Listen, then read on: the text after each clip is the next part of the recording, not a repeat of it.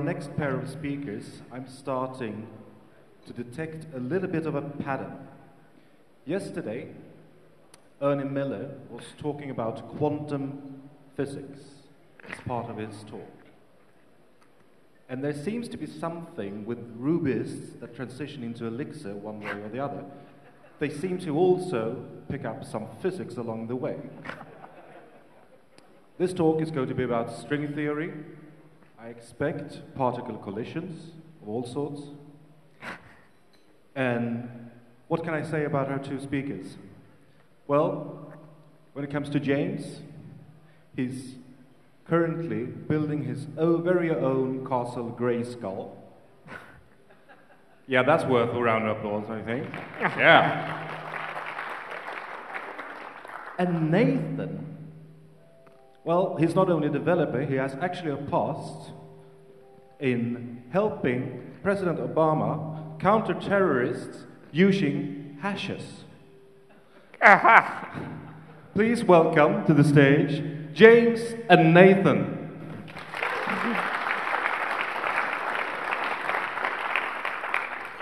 This talk is uh, not going to really have much to do with physics. I, as far as I know, string theory is something about knitting. I, I don't really. Basically, it's a play. So, um, what we are going to talk about is um, all of the different stringy types in Elixir, including IO lists and atoms and fun stuff like that. Um, I've never met this guy before, so hopefully this is going to go well. I'm James Gray. I work for NoRedInk We have Elixir in production and we're hiring. and I'm Nathan Long. I work for Big Nerd Ranch and we would love to help you with your Elixir uh, projects. Uh, we're not actually going to do Q&A in this session. If you have questions, you can grab us afterwards or start a post on Elixir forum and ping us about it.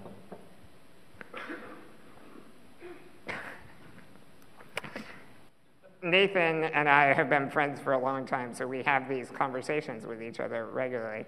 And uh, I just want you to pay attention because I'm pretty sure when we divided up this talk, somehow I ended up with sections that look like naming things and cache invalidation. So I'm not really sure what's going on there. When I was on the Ruby Rogues podcast, we spent a lot of time trying to get our definitions right it kind of became the running gag of, of our uh, show. And here I am trying to get the definitions right so we can actually talk about this stuff. Uh, but that's what we're going to do. So there's lots of different kinds of strings in Elixir. The first one is the single quoted string, which is different from the double quoted string. It produces a list of integers that represent code points uh, for that data.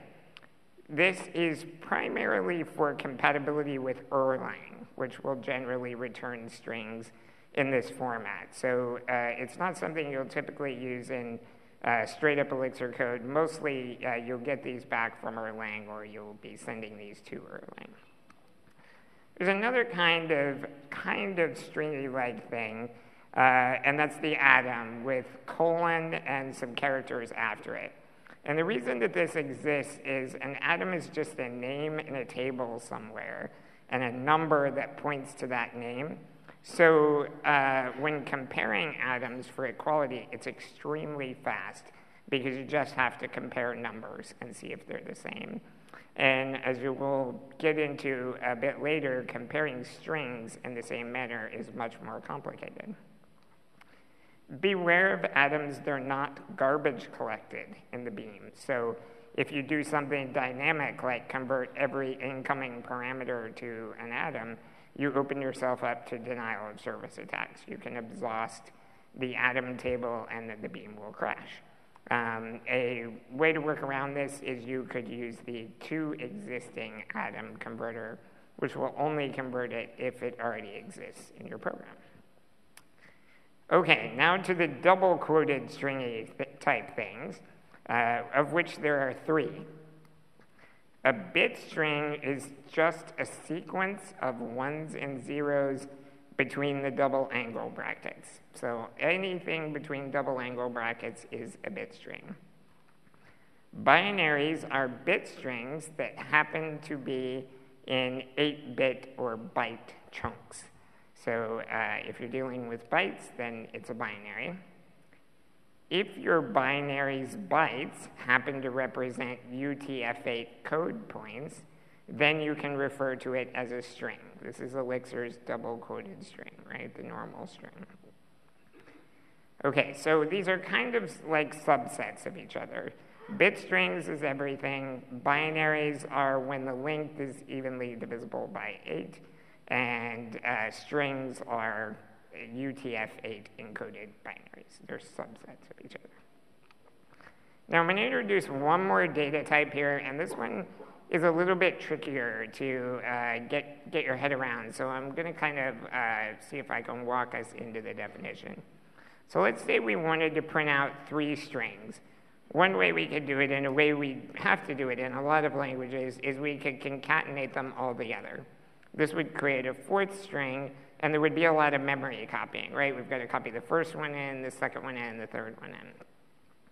We could do this with interpolation. This is just a syntax trick.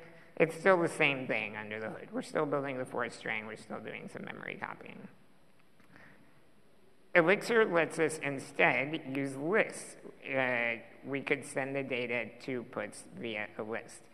And in this case, we're not actually building a fourth string. We are allocating some small pointers for the list, right? But they in turn point directly at the existing binaries. So we didn't have to copy memory around and stuff like that. We saved a little bit uh, in using these lists. And if you think about this, right, a linked list is a head that points at some data and a tail that typically points at another list. So we've actually got like four lists here, right? One with James at the head, one with And at the head, one with Nathan at the head, and the empty list at the end. We can actually make it less if we use some kind of strange nesting and stop using proper lists. Now we're down to two lists, right, to represent the same data. We've cut it in half. And this format may seem a little strange, but it's actually very quick to append to, which is a problem that lists usually have, right? If we use the list concatenation operator, it's big O of n every time we call it. We have to walk the entire list to put something on the end. But using this improper format, we can add very quickly to the end, right, with big O of 1. Uh, you end up with this strange nested structure, but uh, Elixir's I.O. methods don't care that you give it this strange nested structure. So I've told you these are called I.O. lists, and if you go look up I.O. puts in the documentation, it's going to tell you it takes a char data uh, argument. So you probably think I'm lying. And the answer is it gets pretty complicated to sort this stuff out. Um, if you read Elixir forum, you can actually go back and uh, look at me trying to sort this out. And I got lots of really helpful information uh, from many members of the community, including Jose Valim and Robert Virding, one of the co-creators of Erlang. Uh, and then after they were done helping me, they hijacked my thread to debate the uh, best ways to implement strings in a programming language. So uh, it gets pretty confusing. But this is my best attempt at uh, solidifying all the definitions of things here. The first three are those subsets of double-quoted strings that we discussed before. Char list is your compatibility string, your single-quoted compatibility string. IO list, IO data, and char data are all quasi-related to each other. The main difference is that char data has that UTF-8 code point assumption in it that IO list does not. And the reason I introduce them to you as IO lists is if you look at blog posts and other materials, that is typically the name that gets thrown around. So this char data is not as Googleable, in my opinion.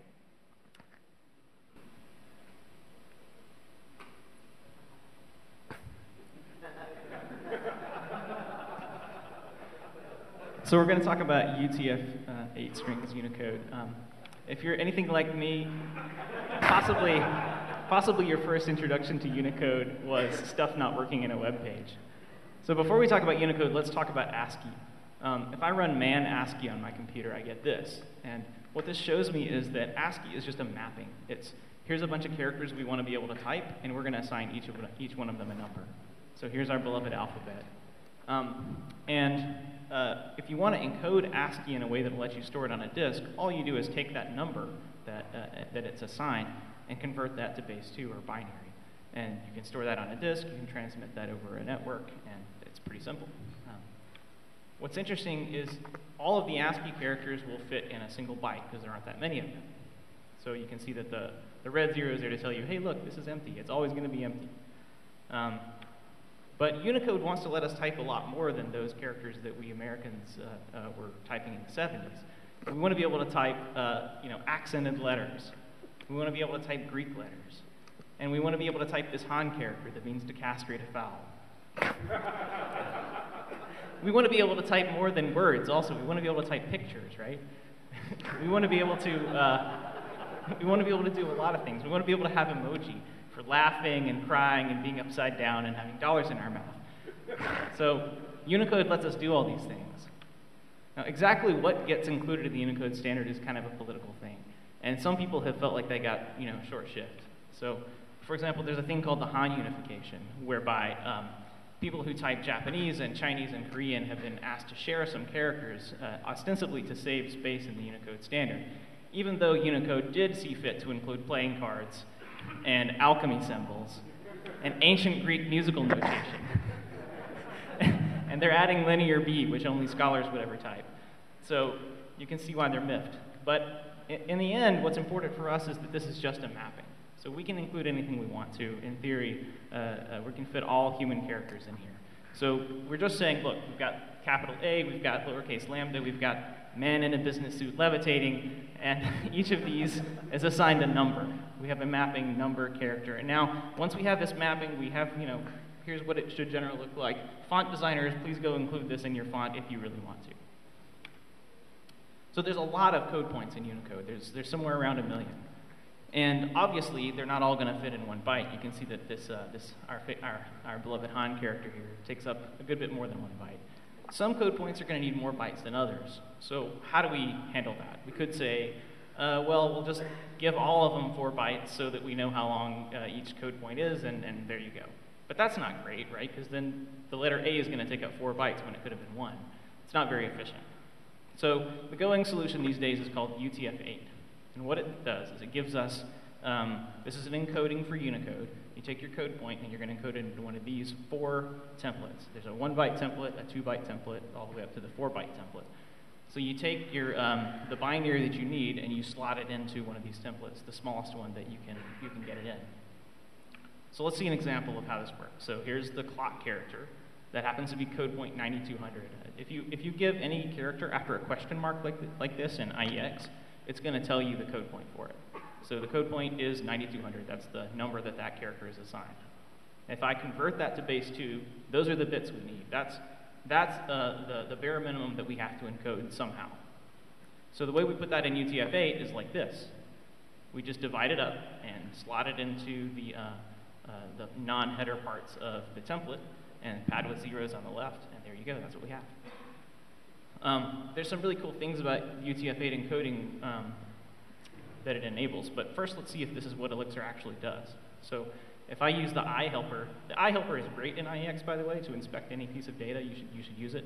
If I use the I helper on this string, it tells me that the raw representation, what's in the binary, is these three numbers, 226, 143, 176. If we map over those and convert them to base 2, hey, that kind of looks like UTF-8, doesn't it? It looks exactly like UTF-8, because that's what it is. that's, that's how Elixir stores this stuff internally. Um, so let's, let's take a look at um, what UTF-8 is actually doing. The cool thing is that there are three kinds of bytes in UTF-8. Uh, so there's a solo byte, like we saw with ASCII characters like A, that first uh, bit is always zero. And the reason is because we don't, need all that space. And um, UTF-8 is backwards compatible with ASCII. Whatever something is in ASCII, it's going to be the same in UTF-8, which is handy for those of us who uh, are uh, American and want it to be the same as when we typed it in the 70s.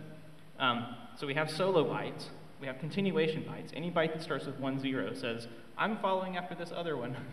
and then we have first of n bytes. So if it starts with 110, it's saying, I'm a two byte, I'm a two byte sequence of code points. If it starts with 1110, it says, I'm a three byte sequence of code points. I'm the first one.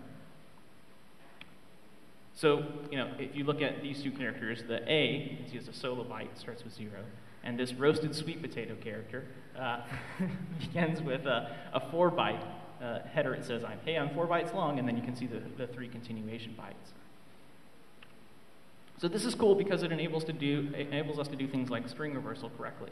If you have a string that looks like this, you have a single character followed by a single code point character followed by a three code point character, and you want to reverse it, you would not do this. This would be terrible, right? You've if you do this, you've scrambled that first character, or, or what was the second character, um, because its bytes got its bytes got reversed. That would be a bad reversing algorithm. Instead, you want to do this. You want to keep that that three code point character, or the, uh, intact, the not three the three byte character intact, and uh, the solo put the solo one after it. So, but it gets even more complicated because not only do we have multi-byte code points, we have multi-code point graphemes. So a grapheme is what a human being would consider generally a written character on the screen. And some characters can be written with multiple code points, like this E with an accent can be written as here's an E and then here's the accent that goes on it. Those are two different code points. That's called combining diacritical marks. Um, so here's an example, Noel, N-O-E, and then we have this, here's a combining diacritical mark to go on the E, L. If you ask Elixir, give me the code points for this, you get five code points out. And hilariously, the uh, display of that puts the accent mark on the quotation, which is uh, pretty broken. And if you ask for the graphemes out of that, then you get uh, what you would actually consider the characters, uh, like a human being would consider the graphemes to be the characters. So you may wonder if you can stick diacritical marks on something, how many can you stick on there? Can you stick as many as you want? And the answer is yes, you can. this is called Zalgo text, and it's horrible.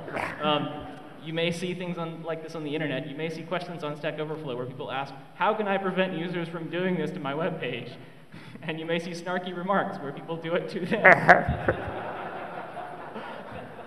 and the answer is, you cannot prevent users from doing this to your web page. It is not a bug, it is a feature.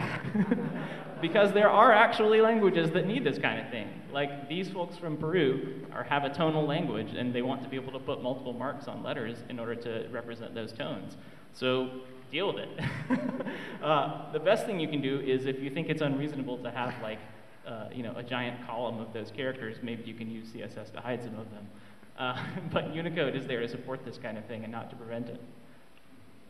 So uh, all of this, uh, all of this complication makes strings pretty uh, difficult to deal with. So traversing strings, asking for the length of a string becomes difficult because in order to find out how long a string is in terms of graphemes, you have to walk through that string, combine the bytes into code points, and combine the code points into graphemes, and then say, okay, how many graphemes did I get?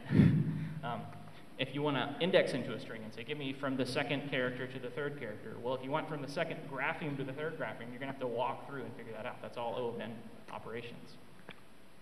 Length is uh, ambiguous. You have, to, you have to specify, do you want how many bytes are in this, or do you want how many graphemes are in this? String.length in Elixir is going to give you the grapheme count.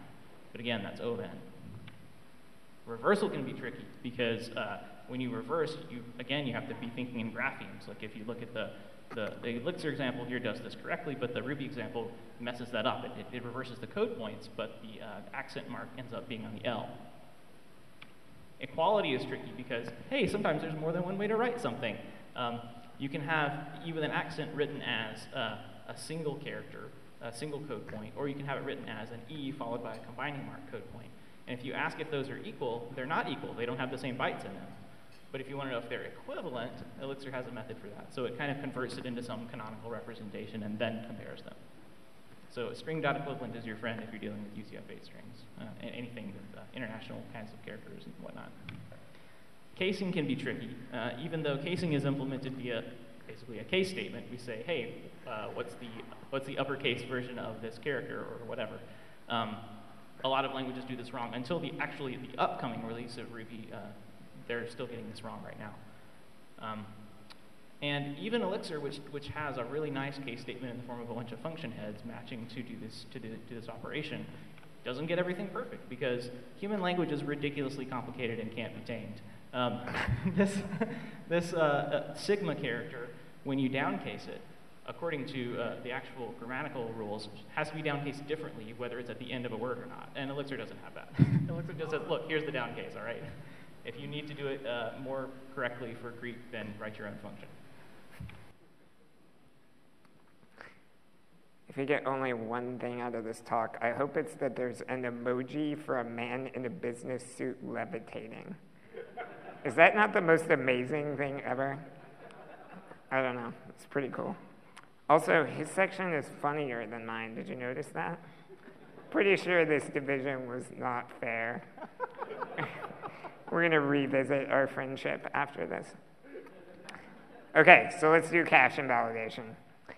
The beam has certain rules, right? Processes are isolated, data is immutable. And therefore, if you send a message from one process to another, we do a full memory copy of the message because we have to move it into the new memory space, right? Because of this, there exists some optimizations in the beam. The beam actually has a handful of different types of binaries, but here we're primarily concerned with two categories. So if your binary is small, under 64 bytes, it's allocated on your processes heap like all other data types, so lists or whatever, and garbage collected off of that heap normally. If it's larger than that, it's actually stored in a space called the large binary space. And internally, you just get a tiny reference to this external data. So you're probably wondering, uh, why are we talking about this? It seems like a strange implementation detail. And the answer is because it's awesome right up until the point where it causes you horrible problems. Um, so we probably want to be aware of this so you can understand what it's doing for you and what it's doing to you. So the win is this. Uh, if you are passing binaries between processes that are big, it's very fast because you only have to copy these tiny references and it's just super quick. And it makes sense that we would be passing large binaries uh, between processes a lot. Think about like HTTP responses. You know, if you fetch some data off of a JSON API, it's a giant wall, you know, of, of data.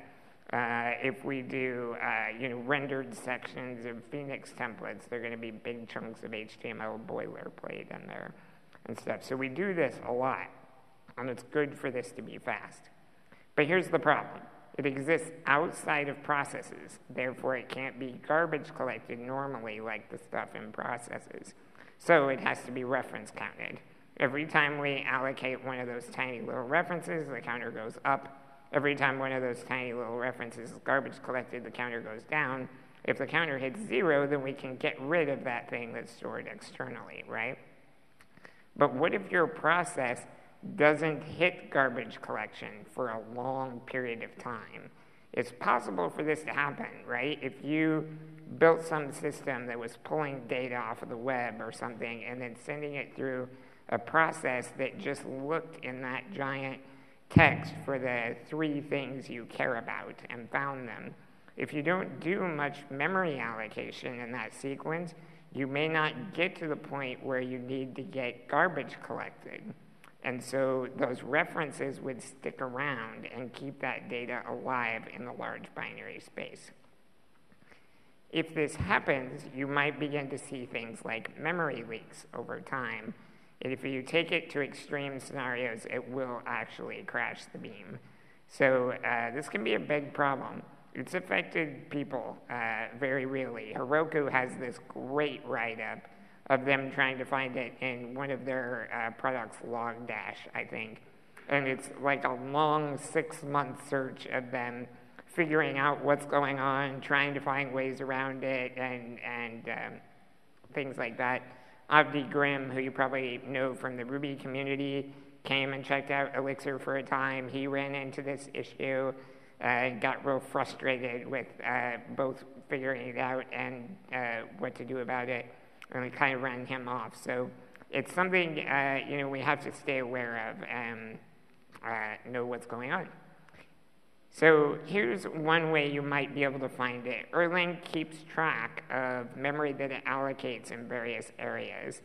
And this particular code will ask you what the allocation is for the large binary space. This code is a little bit uh, tricky. I can't seem to get it to work in IEX, uh, for example, but uh, it does work in the general case. Also, I believe Observer has the same information in it under the Allocators tab, so you can choose to look it up there as well.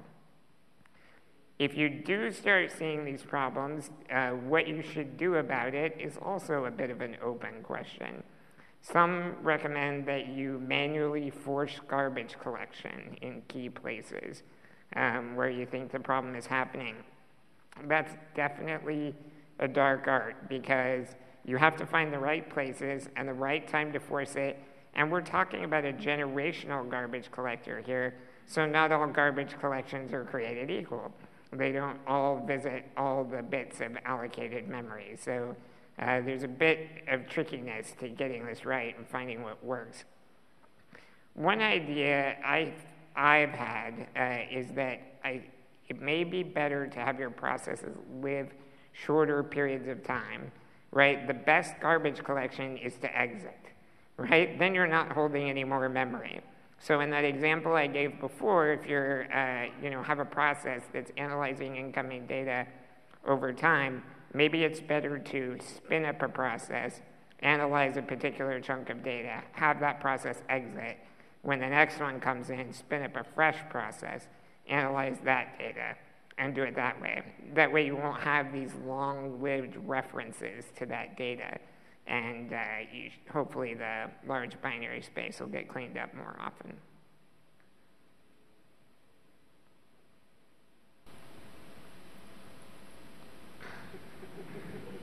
So James uh, talked a little bit about IO lists, and um, uh, just to kind of give you a quick refresher of what they are. So if I do this, this puts with an explicit concatenation, we get out what you'd expect. I can also do the IO puts with uh, a list of strings, I can put a code point in there and we get the nice snowman. Um, and I can give it this deeply nested list of strings, and that all works just fine. It all, it all comes out just as if I had given it a single concatenated string. So IO lists, when you're doing IO operations, like um, putting the standard out, writing to a file, writing to a socket, um, stuff that goes outside of your program, uh, it, it, it's going to be able to use IO lists just as well as if you built this, uh, the final string yourself. So this enables some cool things. It enables things like string reuse. So if I want to build up an output that has uh, users' names wrapped in li tags, then uh, I can do this uh, where I've allocated these strings and just keep putting references to them again in lists. And I'm not copying those li tags uh, into new strings over and over again. I'm just referencing them as needed. Um, and then when I do the puts, it's going to come out just as if I had copied those strings. So that's cool. So the benefits of string reuse, one is that we skip doing the work of concatenation, of continually allocating this new string and copying characters from one place to another. Um, we also, the fact that we're not allocating those strings means we use less memory. And the fact that we're not allocating those means we let, uh, have fewer things to garbage collect, so that's less garbage collection work. So that's all cool. Um, IO lists are for IO, like I mentioned. This is anything your process is doing to talk with the outside world. So writing to a file and sending data over the network are, are probably the big ones. So let's talk about system calls. System calls are, are things that allow your program to do things that normally the operating system manages. So we can say, dear operating system, please write this data to a file for me. And the operating system will take care of that for you. And, and you don't, your program doesn't have to know the details of, well, how do I get in touch with the disk and what kinds of, like, you know, what, what uh, protocol does it expect me to speak and all that kind of stuff, right? The operating system handles that for you. Um, so there are actually different system calls that can be used to write data to a disk or a socket. So one of them is write, as uh, you know, very straightforward. It just writes the data. Um, and, and the way write works is we'll say, um, please go to this address in memory for me and pull this many bytes out of it and write it to wherever, whatever I'm trying to write it to. And, and the operating system will do that for you. Write V, the V is for vector, so it's a list of things. Um, and we can say, please uh, write this item and this item and this item. Um, and we give it addresses for each one. So here's a code sample where we're going to take advantage of these things. I'm going to, in the first line, I'm opening a file. I'm using the Erlang file open uh, uh, function. And it's important that I'm passing raw. I'm not going to go into all the details of what that means, but I'm opening this file in raw mode. Then I'm going to allocate a couple of strings. I'm make a list that has those strings in it. The, the foo string is repeated. And then I'm going to join those into one big fat string at the end and then write it to the file. Now, I'm, I'm using a dtrace script um, that I got from uh, Evan Miller's uh, blog post, uh, Elixir and the Template of Doom, which is a great blog post you should read. Um, and using that dtrace script, I can see the system call that's being used here. It says, go to this address in memory and write nine bytes for me. And the foobar foo that you see there is just, just for us. Like, that's for us to see as humans from the dtrace script. It's, it's not actually part of the system call. Um, now watch what happens. See the line where I'm concatenating those strings together, enum.join output? I'm going to comment that out and watch what happens all of a sudden we're now using writev. Um, and writev says, go to this first address, write three bytes, go to this other address, write three bytes, and go back to the first address again and write three more bytes. So this is actually really cool because if you think about what's happening, I'm never in my program ever building the completed output. The, the contents, of, the ultimate contents of the file never exist in my program. The only place they ever exist is in the file I'm writing to. Um, so I didn't have to allocate the full contents of that file. Imagine that was going to be like a multi-gigabyte file where a lot of the stuff was repeated. I never had to allocate that. It just gets, uh, it just gets put into the file. So this is really cool. So what kind of I.O. operations has a lot of repetitive strings? Hey, HTML has a lot of repetitive strings, right? When we're doing web responses, we'll have snippets that are repeated in the page, like an li tag that you have over and over. Uh, and we're going to have chunks that might be repeated not only within the page, but across web requests. Every time somebody requests your web page, they may be getting the exact same footer as the last person who, who, who made a request. So it would be nice if we didn't have to repeat those. Um, if you are using Phoenix and EEx, or uh, if you're using um, Haml with the Calliope uh, library, um, you're going to get, get to take advantage of this. So here's an example in a template. Um, you can see the chunks of um, uh, you, can see, you can see all in, in, this, in this page, we've got some static pieces of information, like the listing users. That's going to be the same on every request. And then we've got some dynamic things, like where we're iterating through people's names. Um, all of these things are static, right? They're, they're, not, they're not changing. So it'd be nice if we didn't have to keep building those strings. Well, in fact, you don't have to. This is what happens when you use Phoenix. So uh, you have a template like foo.html.eex. Phoenix is going to find that uh, as it's booting up and it's going to compile that into a function. It's going to use EEx uh, to compile that to a function, and it's going to pass something to EEx to say, um, by the way, as, you, as, you're, um, as you're building up the output from this template, don't build it up by concatenating into a big string. Build it up by building an IO list for me. Um, Phoenix specifies that for it. And so this is going to be compiled to a function head on your view, like my myView.render matching foo.html uh, and you know, taking the assigns. And that function is going to be ready to return IO lists. And so all of those static pieces that were in your template are just going to be sitting there in a structure in that, inside of that function waiting to, be, uh, waiting to have the dynamic bits added in. So the, the IO list that's returned from that function is going to look something like this. So you can see it has very much the same structure as the template. And uh, the listing users is just going to be the same string every single time that this function returns. It's going to be a pointer to the same string.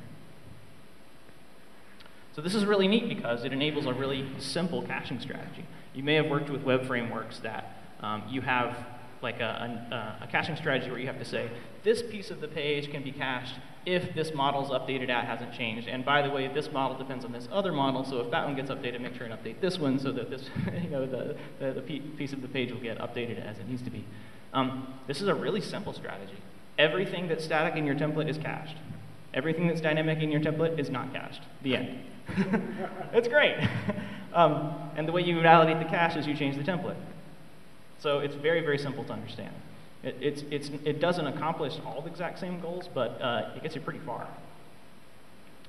Um, just as proof, here's me detracing Phoenix and watching it build its responses, and you can see writev is showing us that it is, in fact, uh, uh, it, we are using writev in, in, in, writing this response to a socket. And this is a really contrived uh, web response that I did just for, for this. Um, what I highlighted in red here was a chunk that I saw as being exactly the same as on the previous response. So the whole doc type HTML opening chunk of the web page, it returns the exact, it says go back to the same place in memory you did last time a user requested this page and send them the same piece of data. Um, and then the blue chunks, uh, you can see that they're the exact same multiple times within the same response. Um, so what actually ends up happening here, uh, kind of like the file example, we never actually build the full completed web page in the memory of the BEAM. The only place it actually gets built is in the, um, the socket buffer where we're actually sending this back over TCP. Um, and then, of course, TCP is going to send it out in packets and throw it away as it gets done with it. Um, but it's not our problem. We never have to allocate that memory. Um, and it's, it's every time a user requests the page, we're going to point them back to the same header string as the previous user. So this is really efficient and cool.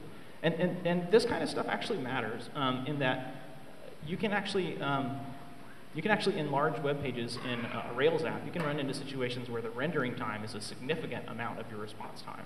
And the fact that, that Phoenix Views renders so quickly and efficiently um, that it's not having to uh, continually copy strings to build up a giant string, it's not having to, uh, to uh, uh build that up just so that it can do this right, uh, saves us a lot of effort, um, and it saves us a, a, lot of performance. So the moral of this is basically, when you're doing I.O., use I.O. lists. Um, now, there are, there are several caveats to this. I'm going to try to elaborate on this in a blog post pretty soon on the Big Nerd Ranch blog, so, so make sure and check that out because um, there's more than we can cover here.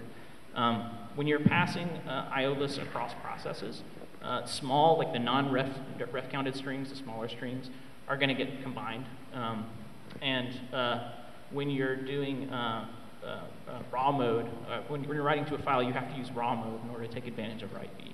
Um, uh, but, but these are details that uh, are probably more than you really have to care about on, a normal basis. Um, what you should take away from this is if you're doing I.O., use I.O. lists. It's not going to hurt you, and it may help. And there's no point in actually going through and joining those strings yourself. That's it. Thanks for listening.